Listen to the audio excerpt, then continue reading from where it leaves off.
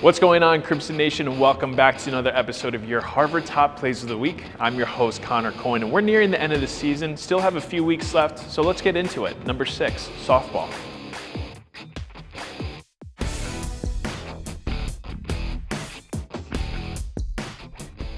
In game two of a three-game series at Princeton, Megan Welsh went for a diving catch in the outfield to rob the Tigers from adding on another run.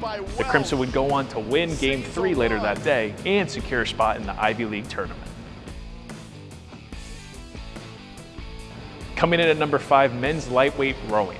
This past weekend, Harvard pulled away from Navy late in the race to secure a Heinz Cup victory.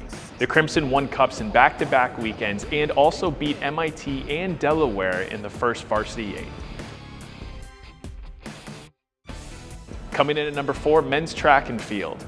Graham Blank set a new school and Ivy League record with a blistering time of 13 minutes, 24 seconds, 91 milliseconds in the 5,000 meter run at Wake Forest. He took home the gold medal and posted a time that is second in the nation in the 5,000 meter run.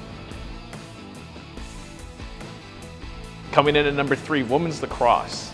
Late in the second quarter of Harvard's 19-4 win over Columbia during senior day, Caroline Malahy found Maddie Barkay cutting across the crease before Maddie firing a behind the back goal. Barkay was excellent against the Lions, posting a career high draw controls and five points for the day. Coming in at number two, women's golf. With the score of three over par, junior Isabella Gomez was crowned the Ivy League individual champion. Gomez won the title by four strokes to become the sixth golfer in school history and the first since 2019 to be crowned the Ivy League individual champion.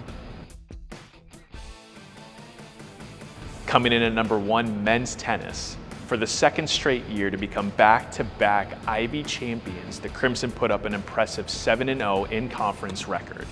It all came down to Steven Sun at the number five position to clinch a win against number 52 Princeton, beating his opponent 6-4, 6-3. That wraps up this week's episode of your Harvard Top Plays. I'm Connor Coyne, and make sure you follow the Crimson along as they close out the last couple of weeks of the spring season. You know where to find us Twitter, Facebook, Instagram, YouTube. We're there. Go Crimson.